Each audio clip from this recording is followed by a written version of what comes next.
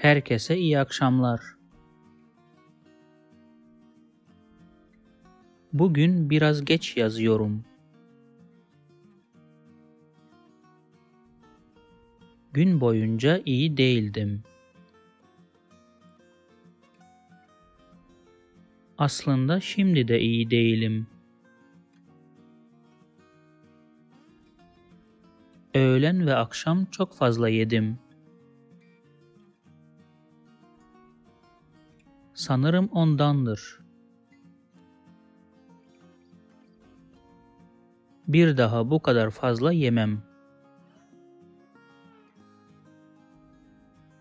Aslında yemeği severim. Fakat bugün gerçekten abarttım.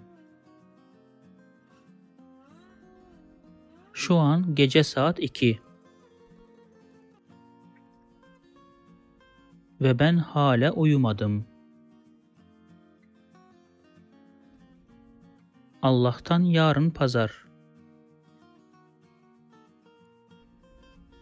Öğleye kadar kesin uyurum. Şu an canım çay içmek istiyor. Ama çay içsem uykum kaçar. En iyisi su içeyim. İlaç da alayım. Belki iyileşirim. Neyse, dişlerimi fırçalayayım. Sonra doğru yatağa.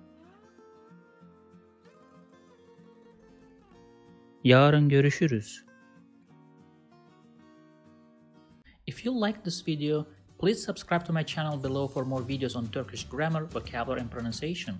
Also, if you think this video can benefit somebody else, please share it with them.